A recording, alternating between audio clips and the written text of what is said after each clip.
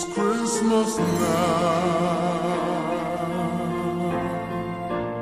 This is when we see all the angels dancing in the sky above. Just for us.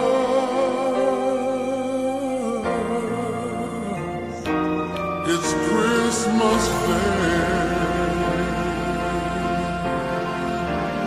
Something to believe in.